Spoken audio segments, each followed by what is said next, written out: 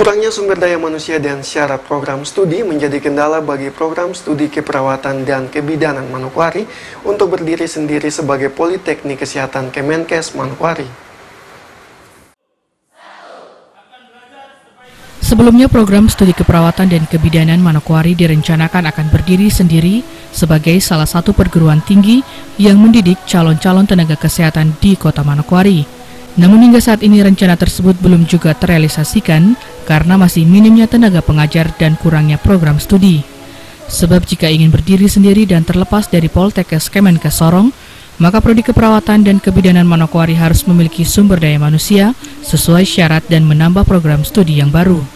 Pembantu Direktur 1 Bidang Akademik Poltekkes Kemenkes Sorong, Mary Loihala menjelaskan, untuk berkembang menjadi satu Poltekkes, minimal harus mempunyai tiga jurusan program studi. Namun Poltekkes Kemenkes Sorong yang ada di Manokwari baru memiliki dua program studi, yakni keperawatan dan kebidanan. Sedangkan Poltekkes Kemenkes yang ada di Sorong sudah memiliki tiga jurusan, yakni gizi, perawat, dan kebidanan dengan prodi diploma 3 dan diploma 4. Untuk mengembangkan jadi satu Poltekkes, minimal dia mempunyai tiga jurusan. Nah kita di Manokwari ini baru dua program studi.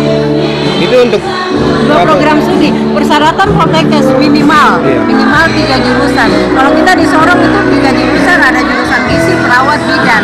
Dengan ada program studi D3 dan ada program studi D4 lebih lanjut, Mary mengatakan wacana berdirinya program studi keperawatan dan kebidanan Manokwari sebagai sebuah poltekkes mulai disikapi dan direncanakan ke depannya akan dilakukan penambahan jurusan, yakni jurusan kesehatan lingkungan atau analis kesehatan.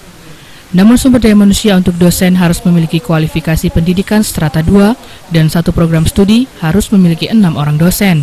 Nah, kita memang wacananya ke depan untuk prodi Manokwari keperawatan maupun kebidanan akan dikembangkan jadi poltekes apabila tambah lagi satu jurusan.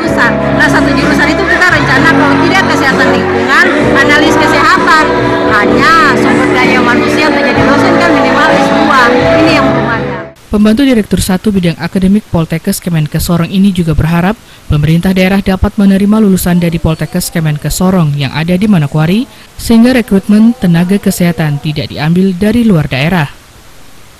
Martinus Mayor mengabarkan.